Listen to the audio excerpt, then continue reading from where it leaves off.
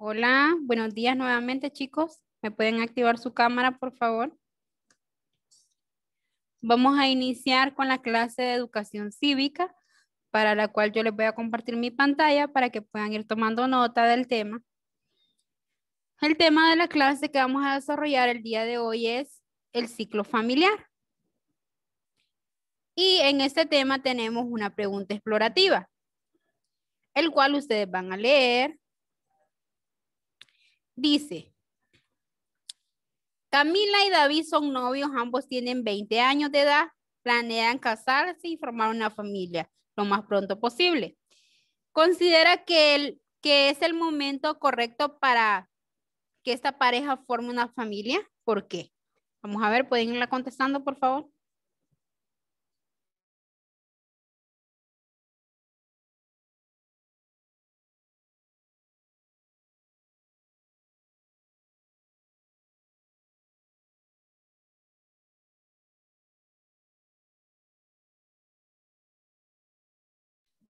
Profe.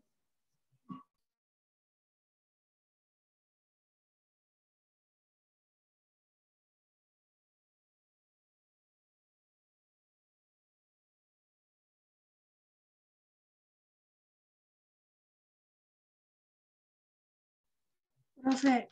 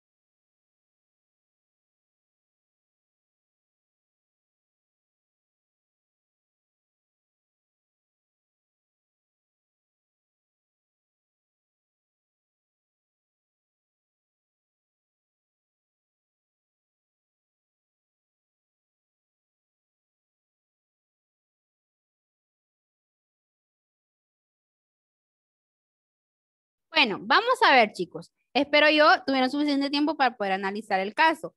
Me cuenta, por favor, vamos a ver, Henry. Para usted, eh, ¿considera correcto que se puedan casar ellos en este momento de su vida, cuando tienen 20 años? Yo, profe. Ajá. Yo que no, porque primero deben tener una buena economía, se deben de conocer bien y tienen que ser responsables. Ah, muy bien.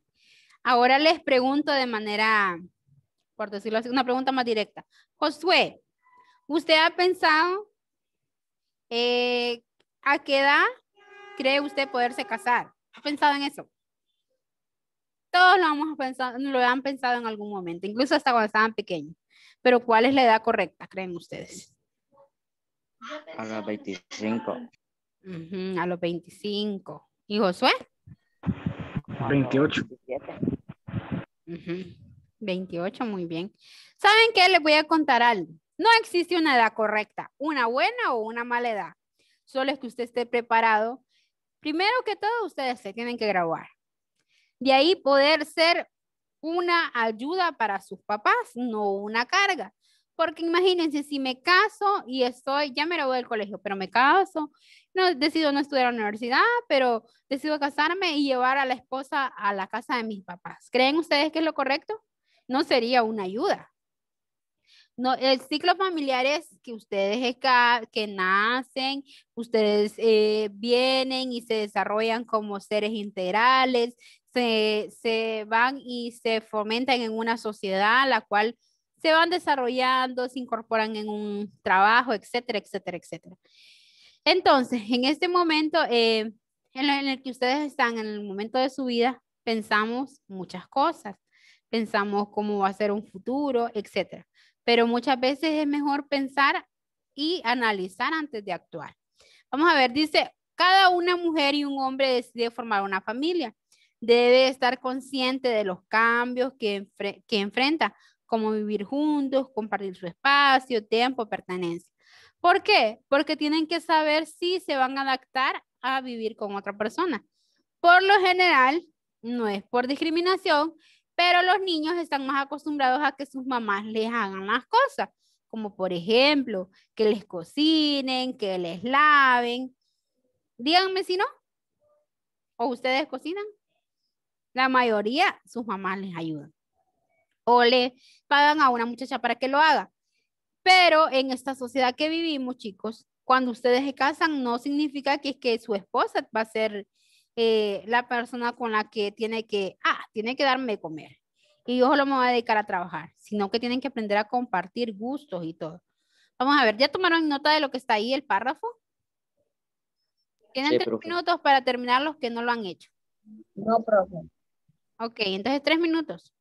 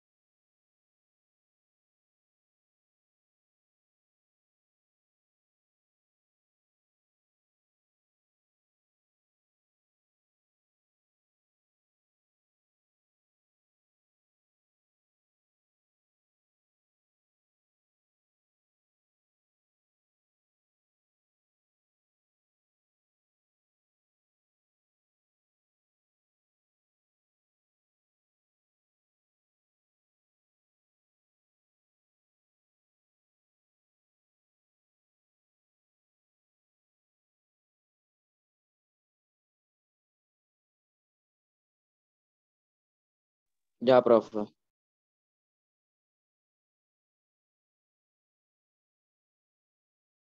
Bueno, listo. Entonces en ese momento les comparto la otra parte del aprendo para que tomen nota de ello de manera resumida.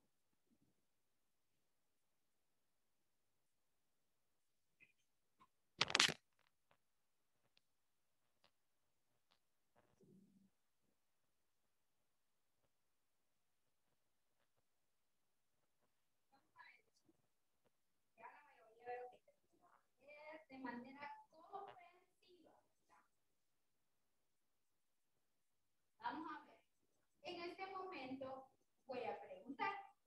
¿Qué es una demanda, chicos? ¿Qué, qué captar?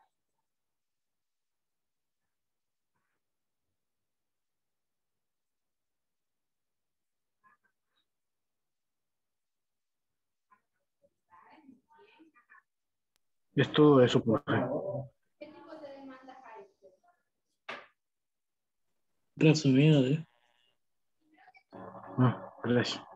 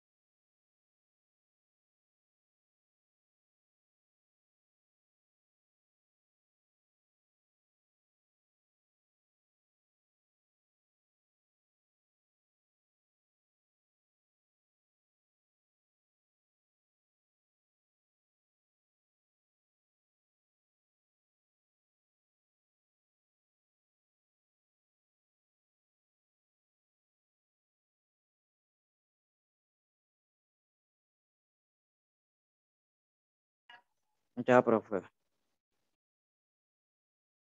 Ya voy por el último párrafo.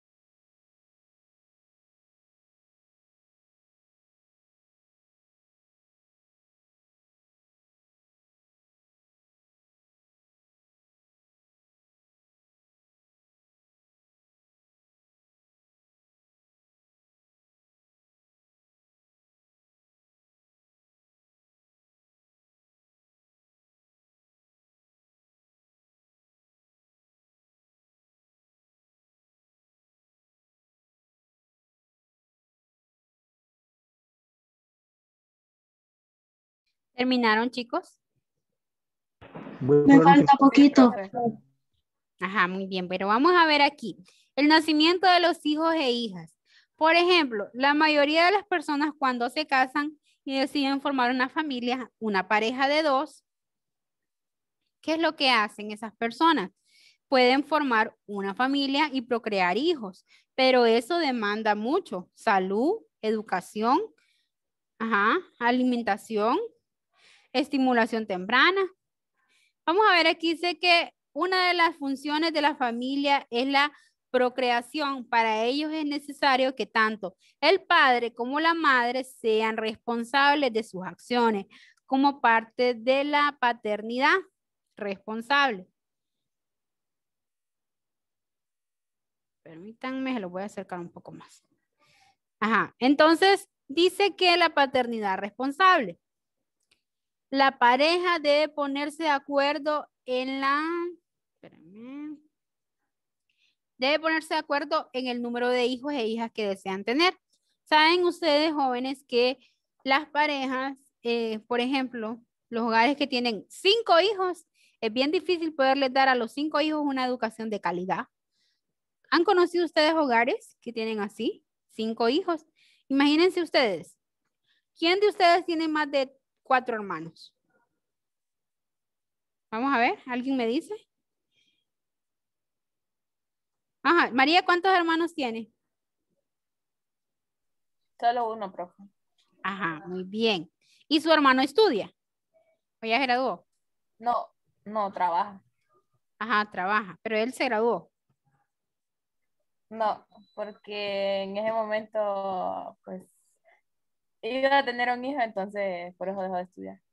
Ajá. Entonces aquí, bueno, muy bien. Estamos viendo un caso que muchas veces dejamos el estudio porque, nos, porque se someten a, a adelantar el proceso futuro, a poder decir, ah, voy a, voy a tener un hogar y voy a tener un bebé. Esto requiere de mucha responsabilidad. Los hogares que tienen cinco hijos, imagínense ustedes ahorita con la pandemia y con eso que ustedes tienen que estar conectados. ¿Se imaginan ustedes estar cinco hermanos conectados ahí en, la, mi- en clases? Acá vamos, aquí vamos tres, profe. Aquí- ahí son tres. Ajá. Pero cinco. En mi casa también, profe. Ajá. Sí, pero es un poco más difícil. ¿Le falla la conexión a usted, Kaimi? Sí, Sí, porque hay una, una saturación. Entonces, muchas veces, pero ¿por qué les digo esto? Imagínense, tienen que tener en primer lugar sus papás un buen trabajo, un trabajo que pueda generarles ganancias. Porque, mi tía. ajá, ¿ah? ¿Cómo, Kaimi? Mi tía sí son cinco y ya casi seis. Ay, Dios mío. ¿Y todos estudian? Sí, todo. Qué bueno, es muy esforzada y tiene un buen trabajo ella. Ella tiene trabajo propio, es que aquí en la casa eh, son dos casas y así, en una sola casa hay cuartos y dos casas aparte, entonces, entonces ellas viven con nosotros y ellos pusieron un negocio a la par y mi mami tiene salón aquí en la casa. Ah, muy bien. Entonces entre ellos se ayudan así y ellos venden así, abren fardos y venden la ropa. Ajá, muy bien. Pero tienen que aprender a trabajar, ¿verdad? Y a obtener ganancias para poder sostener a una familia. Y, y eso es actuar de manera responsable. Pero imagínense ustedes eh, a su edad eh, tener un hogar, tener una familia y que en esa familia tengan hijos y que no trabajen, es bien difícil. Hay algunos que en esta época de, de la pandemia tuvieron que dejar sus estudios porque no todos contaban ustedes que están en un colegio privado, pues gracias a Dios, ¿verdad? Cuentan con los recursos porque sus papás trabajan y no es porque sean millonarios. ¿O quién de ustedes su papá es millonario? Ninguno. Creo que ninguno el papá es ahí dueño de la ciudad peluche, como dice la familia peluche. No. Ninguno, todos son esforzados. Todos somos esforzados en esa sociedad, pero no tenemos, tenemos que aprender a vivir de una manera adecuada. Desde el momento que nace el bebé, se necesita los cuidados como alimentación, higiene, estimulación temprana, permitir estimular su desarrollo. Si ustedes observan estas imágenes, miren, ¿quién de ustedes no se ha enfermado? Todos. ¿Quién de ustedes todos los días comen, verdad?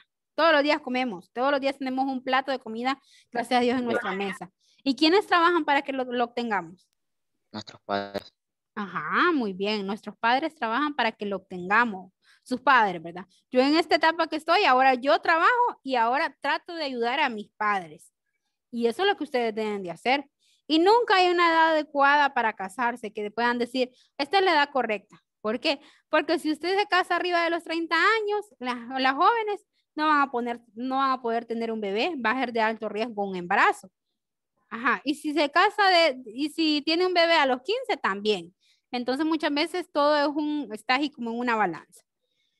Vamos a Mejor, ver. Ajá, mejor que no tengamos.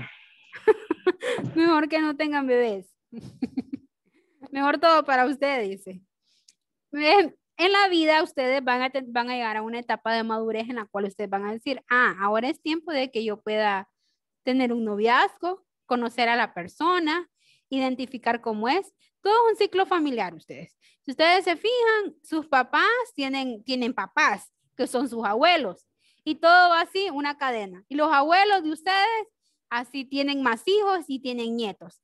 Ahora ustedes son los nietos de sus abuelos. Y de ahí ustedes van a tener hijos y van a ser bisnietos de sus abuelos. Y así todo es una cadena, es un ciclo familiar. Esto es un ciclo familiar. Vamos a ver, ¿ya terminaron? Sí. Ok, entonces vamos aquí. La Sí, siguiente. Crecimiento y educación de los hijos. Es muy importante. La función del padre y la madre durante el crecimiento de los hijos e hijas. Sus elementos fundamentales para desarrollar la personalidad y la confianza luego manifestarán sus personas adultas. El tipo de educación que se le brinde le permitirá obtener conocimientos, actitudes, valores, manejo de emociones, la familia, las personas más cercanas, los niños y los adolescentes.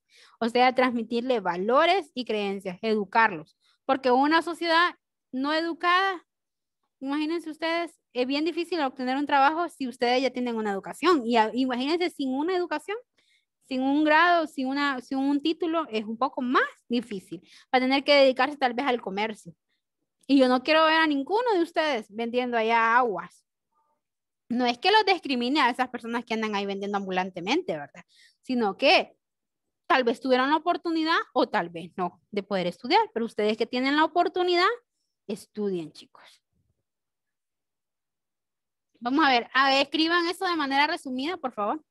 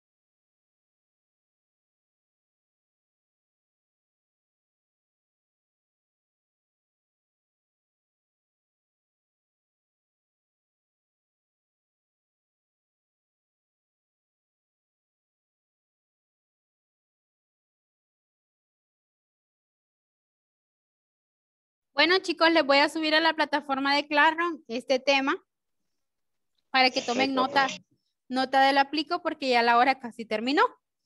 ¿Ok? Entonces, hasta pronto, chicos. Cuídense.